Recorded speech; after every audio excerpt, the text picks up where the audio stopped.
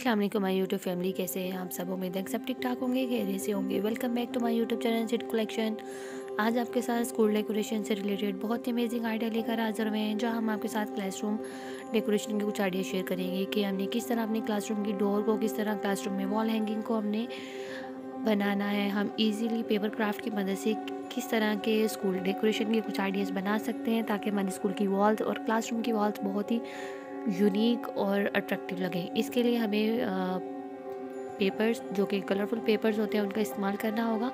और इसके ज़रिए हमने डिफरेंट तरह की फ्लावर हैंगिंग बनानी है क्लासरूम के लिए हैंगिंग के कुछ आइडियाज़ बनाने हैं। और क्लासरूम चार्ट भी हम इन्हीं की मदद से बना सकते हैं। बहुत ही आसान और बहुत ही अमेजिंग क्लासरूम वॉल डेकोरेशन के क्लासरूम डोर डेकोरेशन के आइडियाज़ आपके साथ शेयर कर रहे हैं। उम्मीद है कि आपको ये आइडियाज़ पसंद आएँगे।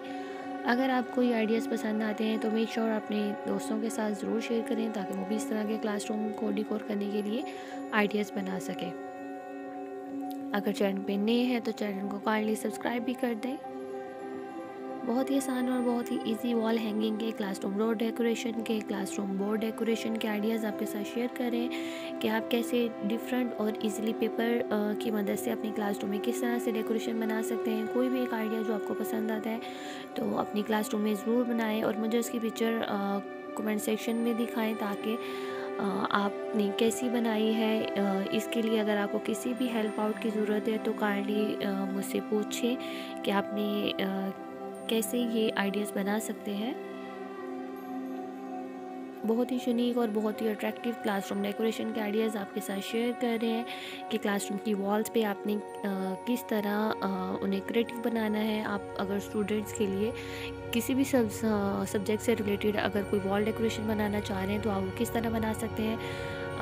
अगर आप स्टूडेंट के लिए नंबर्स वॉल्स बनाना चाह रहे हैं तो आपने उसे किस तरह बनाना है? उसे आप ट्रेन शेप में या फ्लावर शेप में भी बना सकते हैं। अगर स्टूडेंट्स के लिए आपने अल्फ़ाबेट्स के कुछ आइडियाज़ बनाने हैं तो वो आप किस तरह बना सकते हैं? अल्फ़ाबेट से रिलेटेड एक वीडियो ऑलरेडी मैं अपने चैनल पे शेयर कर कर चुकी हूँ। अगर आप अपने स्टूडेंट्स को अल्फ़ाबेट्स के लिए कोई चीज़ सिखाना चाह रहे हैं कि आपने किस तरह अपनी क्लासरूम में अल्फ़ाबेट चार्ट्स तैयार करने हैं तो उसकी वीडियो पहले ही चैनल पर मौजूद है, आप वो देख सकते हैं। बहुत ही आसान और बहुत ही यूनिक चार डेकोरेशन के क्लासरूम वॉल डेकोरेशन के आइडियाज़ हैं कि आपने किस तरह अपने क्लासरूम की वॉल्स को डिकोर करना है।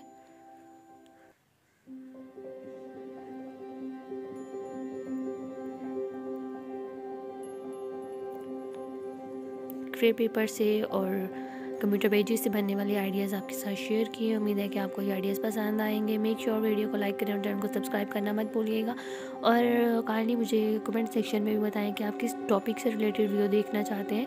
तो उसी टॉपिक से रिलेटेड हम आपके लिए एक वीडियो लेकर वीडियो बनाएँ उस तरह के क्रिएटिव आइडियाज़ आपके साथ शेयर करें।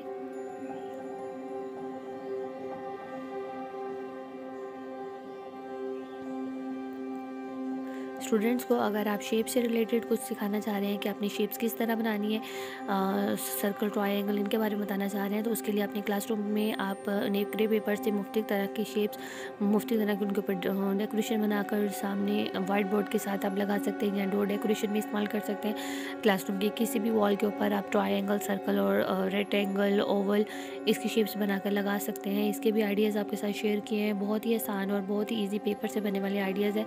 स्टूडेंट्स को अगर आप आर्ट वर्क की तरफ़ लेकर आना चाहते हैं तो इनके लिए डिफरेंट तरह के आर्ट के आइडियाज़ हैं। आप इन्हें बनाएँ और वो अपनी क्लासरूम में डिस्प्ले करें, ताकि स्टूडेंट्स को अच्छे लगें कि वो किस तरह से ये आर्ट वर्क किया गया है। इन इस रंग डिफरेंट आइडियाज़ के साथ फिर हाजिर होंगे। तब तक अपना ख्याल रखिएगा दुआ में याद रखिएगा। वीडियो को लाइक और चैनल को सब्सक्राइब करना मत भूलिएगा। मिलते हैं नेक्स्ट वीडियो में। तब तक के लिए अल्लाह हाफिज़।